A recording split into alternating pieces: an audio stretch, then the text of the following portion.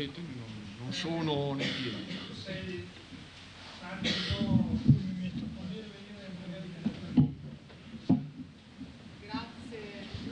Maurizio Brioni in particolare, alla Lega in generale per averci offerto quest'angolo visuale. Noi siamo molto interessati in Banca d'Italia a capire, scusate, a capire cosa è successo al sistema produttivo italiano. Sono ormai quasi dieci anni che ci si interroga su, su, questo deficit di crescita, sui problemi strutturali del nostro Paese e così via.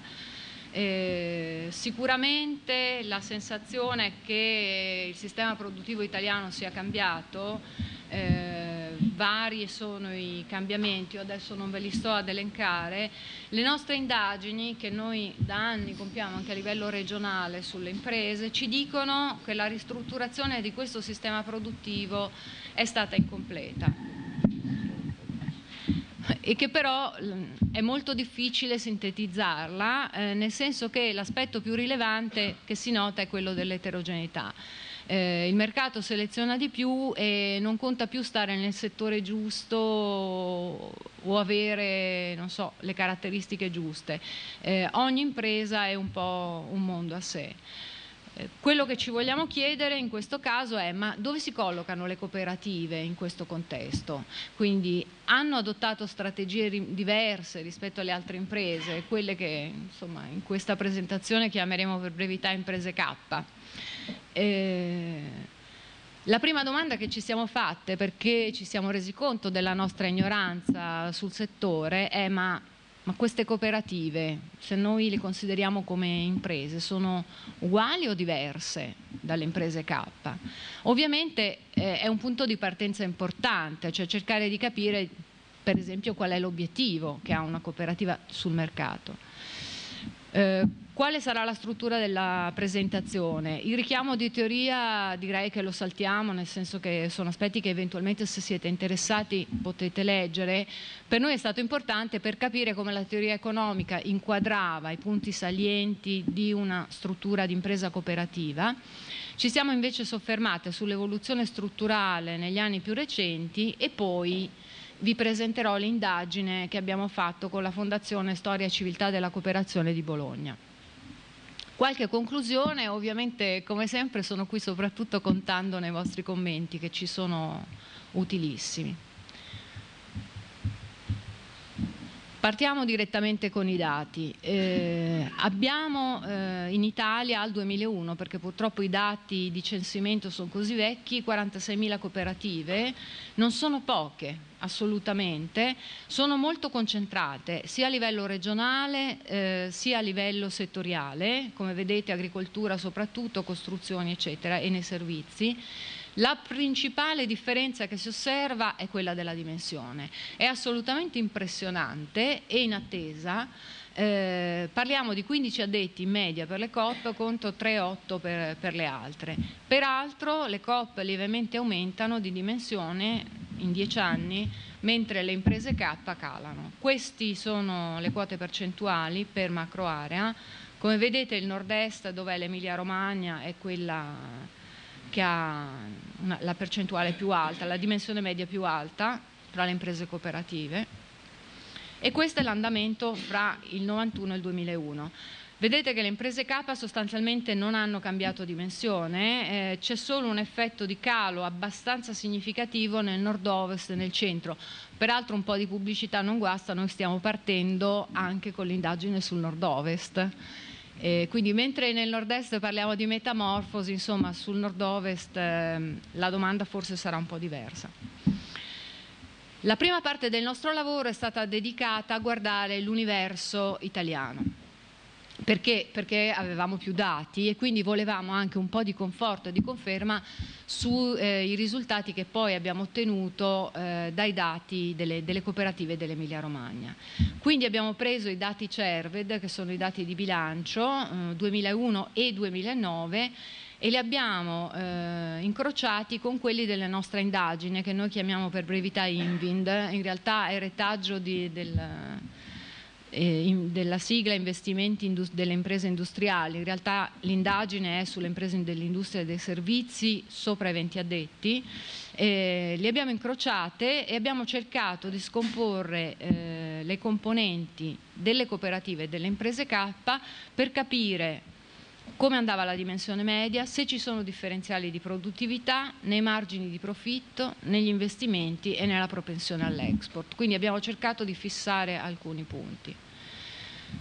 Il primo ovviamente eh, ci conferma eh, che c'è una differenza di dimensione media significativa, lo vedete nel primo coefficiente in alto che si legge come differenza e sostanzialmente non è molto dipendente dall'effetto settoriale.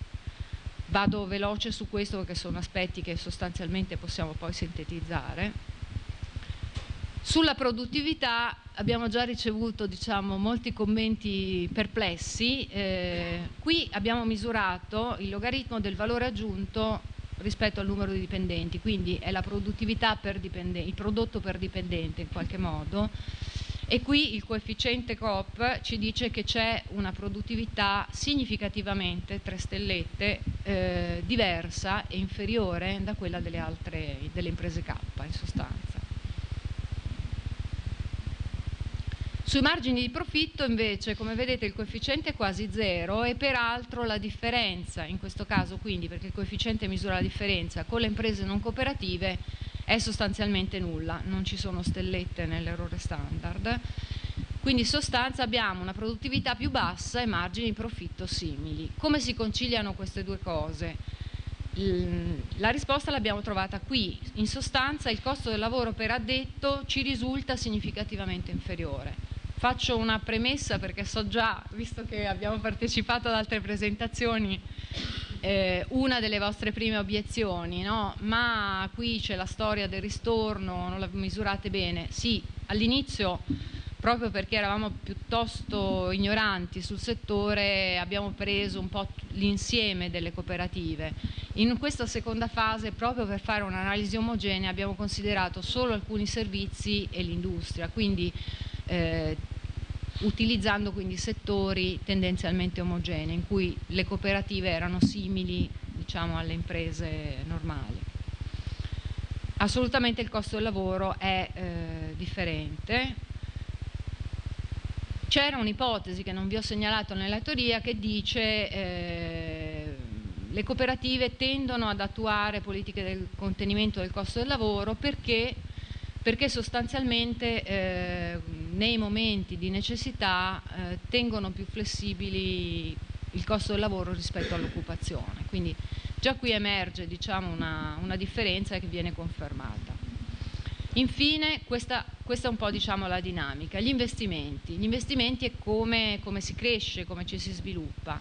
Il coefficiente COP di differenza COP è zero, su questo le K e le COP non sembrano molto diverse e non sembrano diverse neanche sia se, se consideriamo gli investimenti in rapporto al fatturato sia in rapporto agli, a, agli addetti. Quindi su questi aspetti non abbiamo molta differenza, qui invece la si trova. La propensione all'export delle cooperative è assolutamente più bassa. Questi sono dati eh, nazionali che noi abbiamo ponderato per rapportare ovviamente eh, il campione all'universo, perché come saprete sia la nostra indagine Invind sia CERVED non contiene tutte le imprese italiane. E a questo punto vorremmo cercare, tenendo eh, presente questi risultati, di capire i risultati invece dell'indagine dell'Emilia Romagna. Perché ci interessano? Beh, perché quello di cui ci si rende conto immediatamente che questi dati, diciamo hard, non ci dicono tutto. Eh, è molto difficile da, da, questi risultati, investimenti e così via, capire se c'è stato un cambiamento, in che direzione è stato, ad esempio nelle strategie, nel, nei processi proprio di scelta dei manager, per esempio. Su questo bisogna andare a fare delle indagini sul campo. Ecco, questo è l'universo, l'universo emiliano-romagnolo, vedete c'è di tutto, però insomma le cooperative di produzione e lavoro sono piuttosto rilevanti, eh, i dati sono interessanti. Purtroppo Da quei numeri lì noi abbiamo estratto soltanto 57 imprese. Cosa significa questo? Significa che i risultati hanno un valore qualitativo, ma non possiamo da questo estrapolare dei risultati ehm, completamente significativi per l'intero universo delle cooperative dell'Emilia Romagna. Partiamo, io vi presento solo alcuni risultati, se no facciamo ovviamente notte. Questa è la prima cosa. Le imprese sono grandi, le cooperative, ma altro risultato interessante sono più vecchie. Eh, sono più grandi ma anche più anziane, ehm, quindi sono imprese solide, direi. 33 anni e mezzo in media nella nostra indagine nazionale, 58,7 nelle, nelle CEM. Prima parte, cominciamo su come si sente un'impresa, come si sente collocata rispetto ai propri competitors. Allora, ho colorato in azzurro per semplificarvi insomma, la strada in mezzo a tutti questi numeri mm, i dati che io trovo molto simili a quelli delle imprese K e in giallo quelli che considero abbastanza diversi. Anche qui eh, cioè, differenze molto, eh, non molto grandi per campioni del genere non, sono, non ritengo che siano significative. Quindi ehm, sostanzialmente le cooperative si ritengono come le imprese K in una posizione co mh, competitiva piuttosto forte, eh, ma quali sono gli aspetti curiosi? Allora, il primo è il localismo. Il primo concorrente è nell'80% dei casi dentro la stessa regione. Eh, come vedete il resto d'Italia è zero, ma di nuovo qui è un fenomeno di avere un, campione, un risultato da campione piccolo, il segnale è che comunque rispetto alle imprese K eh, sono molto molto radicate territorialmente e in più questa, questa sembra una domandina diciamo trappola, eh, hanno una reattività, diciamo, la, la, loro, la domanda dei loro prodotti hanno una reattività ai prezzi molto molto più forte. Cosa, cosa, significa questo? Significa che eh, tendono ad avere prodotti, tenderebbero probabilmente ad avere prodotti poco differenziati e a basso livello tecnologico. Questo potrebbe essere un segnale non del tutto positivo in un mondo in cui le imprese di successo sono quelle che differenziano, cioè che si distinguono dalle altre. Ultimo risultato che vi prego di tenere a mente per dopo è questo degli indicatori di produttività del lavoro. Eh, questa è stata una dei risultati più divertenti dell'indagine che abbiamo fatto con Salvatore Rossi negli anni passati sulle imprese K, perché noi andavamo dalle imprese e gli chiedevamo, sentite, ma voi misurate la produttività del lavoro? E, e loro dicevano sì sì, e noi chiedevamo, ma come fate? Nessuno di fatto lo faceva, cioè non c'era un, un, indicatore di qualunque genere che facesse qualcosa del genere. La sensazione che questa risposta alle cooperative sia piuttosto vera, secondo me è confermata poi dai risultati successivi. Questo è un punto su cui le cooperative, nonostante il risultato produttività più bassa, siano piuttosto attente. E andiamo con le strategie. Vedete qui c'è un po' di colore eh, giallo-azzurro. Mm, sono cambiate o non sono cambiate? Sono cambiate, azzurro, come le imprese K, ma più lentamente. Cioè nel 2006, quando già le imprese K ci dicevano che avevano intrapreso in larga misura un processo di cambiamento, loro erano cambiate meno. Quindi diciamo è stato un processo avviato più tardi, ma sicuramente avviato.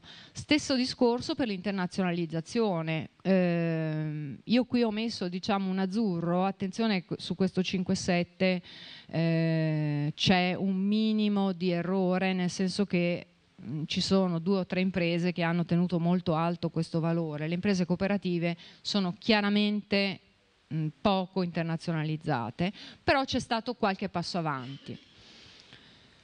Che tipo di strategia hanno adottato? Di nuovo, dai dati di bilancio queste cose sono impossibili da vedere, eh, chiaramente restiamo comunque su prodotti simili, come vedete questo è, è un dato che non è molto diverso da quello delle imprese K. Qualche volta c'è stato un tentativo di spostarsi un pochino a lato, un pochino accanto, forse di più rispetto alle altre imprese italiane. Altre cose curiose sono questa attenzione alle attività promozionali e all'assistenza post vendita, quindi la domanda la nostra domanda, la domanda delle cooperative è molto reattiva al prezzo e forse si cerca diciamo, di influenzare questo effetto che non è sempre molto positivo eh, con attività di assistenza al prodotto. E su questo c'è chiaramente una differenza, come c'è eh, però meno rilevante, sostanzialmente non è molto significativa, la differenza nell'outsourcing, subforniture e così via. E qui vedete un po' quali sono le differenze, nella, in che cosa si esternalizza. Uh, secondo me l'aspetto un po' preoccupante è che, ehm, che le imprese cooperative esternalizzano le cose importanti, eh, cioè la ricerca e sviluppo, l'ingegneria e la progettazione.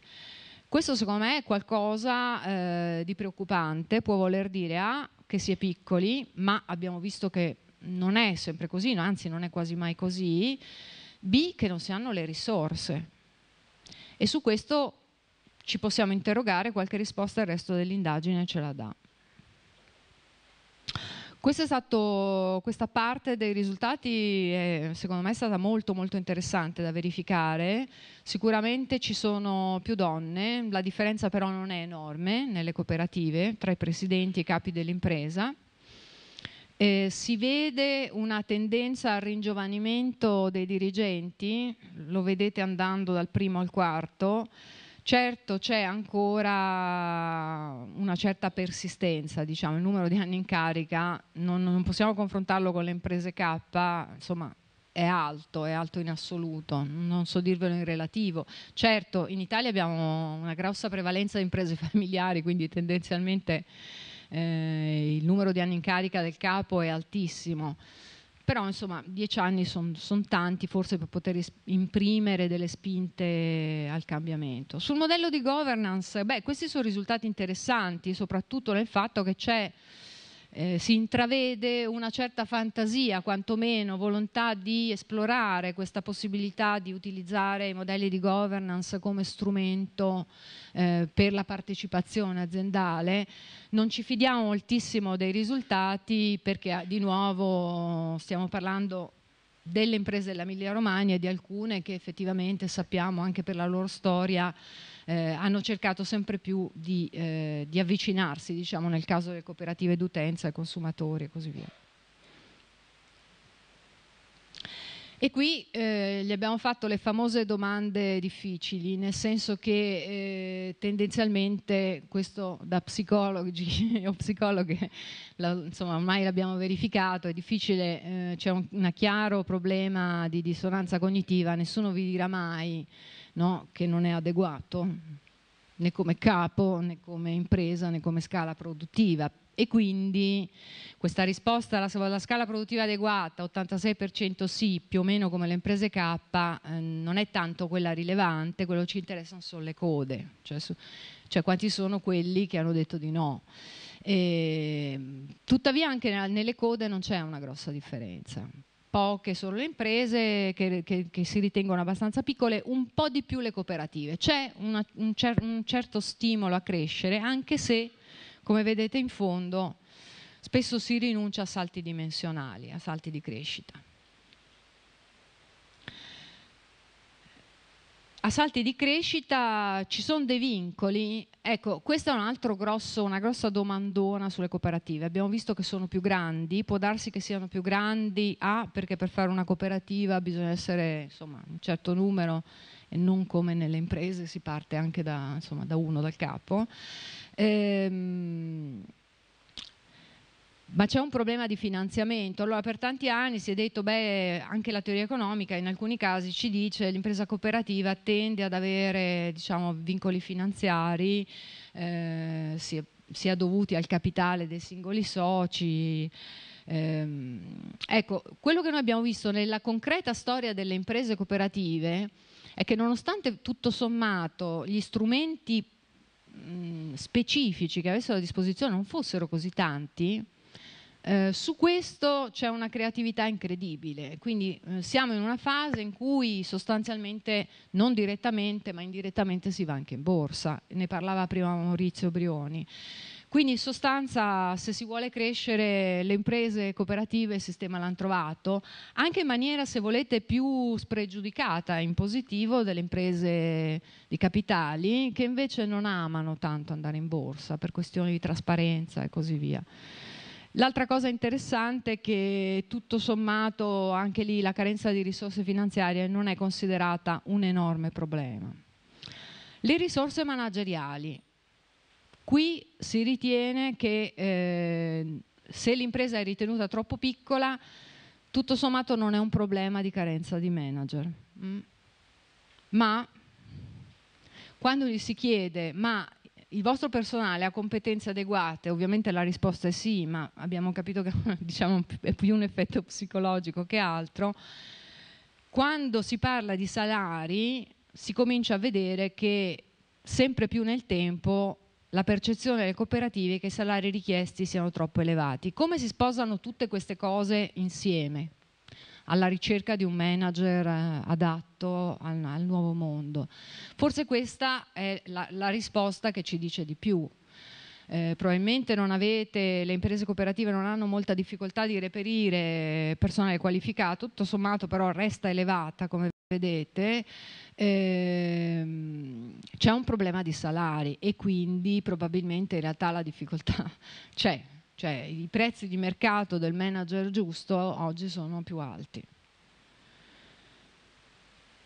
Qualcosa in più qui, io questo ve lo lascio diciamo poi per la vostra riflessione, si vede che c'è un pochino più di, di laureati ricercati, quindi altro segnalino che si sta cercando nel reclutare il personale gente qualificata, non è detto che la laurea sia la cosa primaria ovviamente, ma stiamo parlando di personale a primo o secondo impiego, ok? Ovviamente gli altri, io eh, siamo andati a intervistare con Rossi alcune cooperative, c'erano molti manager che avevano avuto altre esperienze anche in imprese K, quindi assolutamente questo riguarda prim il primo impiego, diciamo.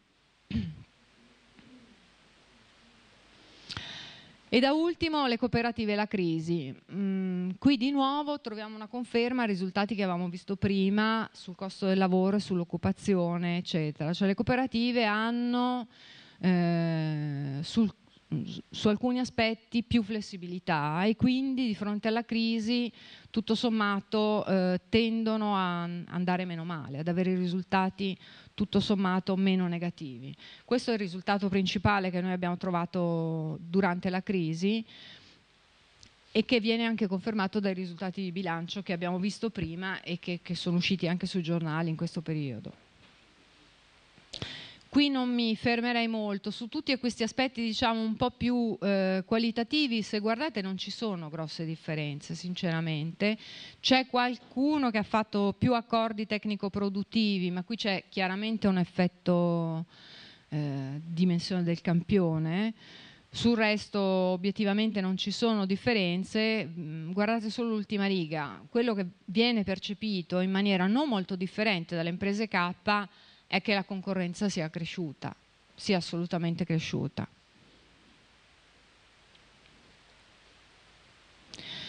E passerei solo alle conclusioni. Cosa abbiamo trovato in sostanza? Molte differenze, differenze come abbiamo visto nel costo del lavoro, nell'andamento dell'occupazione, eh, notevoli similitudini, ad esempio nei profitti ma anche nelle strategie.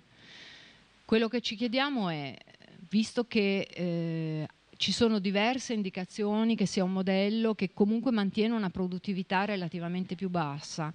In un contesto di accresciuta concorrenza, quanto è sostenibile ancora questo modello? E di nuovo, quanto sono ulteriormente comprimibili i costi, tra cui quello del lavoro, se vogliamo attrarre le risorse umane migliori?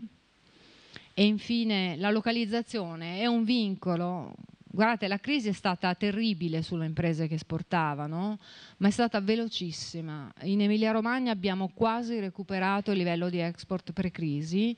Eh, qual è il messaggio? È positivo o negativo? Io direi che è assolutamente positivo. Le esportazioni, soprattutto per le imprese di questa regione, sono una risorsa, i mercati esteri sono una risorsa, soprattutto in un contesto in cui la domanda interna soffre, è lenta, ha una dinamica molto bassa, ci sono problemi di finanza pubblica, quindi non ci possiamo aspettare eh, una grossa ripresa della domanda interna. La localizzazione rischia di essere un vincolo. Abbiamo qualche evidenza di diversificazione dei prodotti e dei mercati e a voi io chiederei ma quanto percepite sia deciso questo cambiamento? Grazie. Io sono, risentendo questa presentazione, rimango convinto di uno degli